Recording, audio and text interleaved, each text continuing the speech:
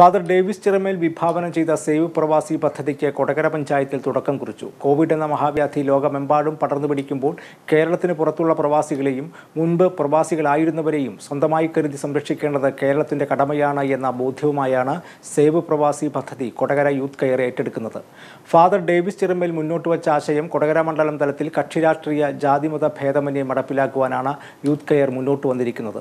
ആദ്യഘട്ടത്തിൽ പ്രവാസികളായവരുടെയും ബന്ധുക്കളുടെയും രജിസ്ട്രേഷൻ നടത്തുകയും തുടർന്ന് അർഹരായവരെ കണ്ടെത്തി അവർക്കാവശ്യമായ ആരോഗ്യ പരിരക്ഷ ഭക്ഷ്യസുരക്ഷ എന്നിവ ഉറപ്പാക്കുക ജോബ് സെന്റർ പ്രവർത്തനം സജ്ജമാക്കുക എന്നിവയാണ് പ്രാഥമിക പ്രവർത്തനങ്ങളായി ലക്ഷ്യമിടുന്നത്.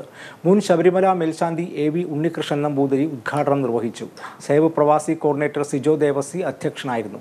യൂത്ത് കോൺഗ്രസ് ദേശീയ coordinator advocate Shone Pellissery Youth Congress നിയോജക മണ്ഡലം പ്രസിഡന്റ് അനിൽ പരിയാരം കോൺഗ്രസ് ഐ മണ്ഡലം president M K Shine Vinayan Thottappally panchayat അംഗം Praneela Gireesan Johnny മാഞ്ഞാങ്ങ Justin Dominic coordinator Manesh Sebastian Sanal Subran എന്നിവർ നേതൃത്വം നൽകി.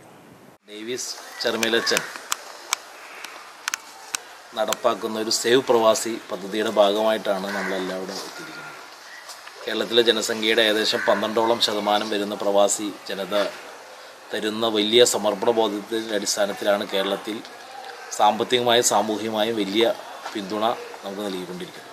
ആ പ്രവാസി സമൂഹത്തിനാണ് ഇന്ന് വലിയ ഭീഷണി നേരിടുന്നത്.